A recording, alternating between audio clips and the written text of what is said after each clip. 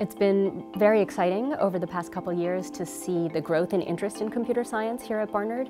Uh, I think uh, worldwide there's a growth in interest in computer science as uh, students understand the um, the extent of its impact. I think we have a lot of strengths at Barnard uh, in computer science that are uh, really very unique. So one, uh, Barnard is fundamentally about women's empowerment at its core, and that's something that is definitely reflected in our classes. Barnard being a historically women's college, I think it provides the perfect opportunity for a, a safe introduction to a field like research, which is male dominated.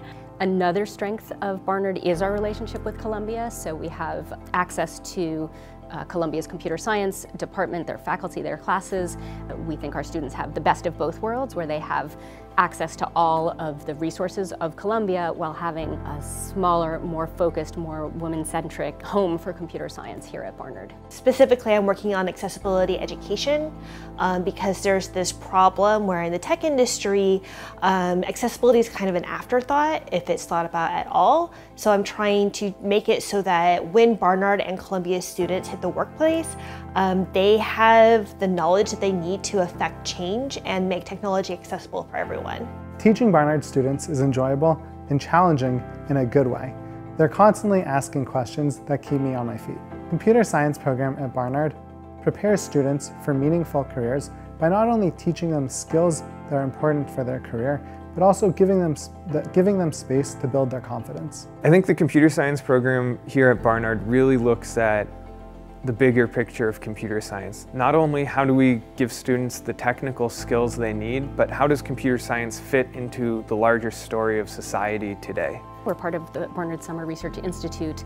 Uh, you see reflected the same kind of multidisciplinarity and both applications of computing to other fields and also um, drawing in to other fields to advance computing. My background is a lot different from a lot of other people doing SRI this summer, which I think is is pretty cool, but I discovered computer science a lot later in my Barnard education. It wasn't until my third year that I took my first computer science class. I really feel like I'm making up for some lost time because I found something that I really enjoy and I'm kind of I wish I found it sooner, but at least now I get to take this opportunity over the summer and learn as much as I can because it is something that I enjoy doing. I'm learning how to work efficiently and work in a collaborative setting.